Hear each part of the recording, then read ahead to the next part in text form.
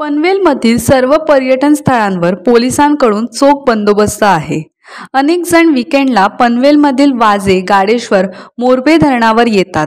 मुंबई नवी मुंबई ठाणे कल्याण पनवेल येथील पर्यटक प्रचंड गर्दी करतात.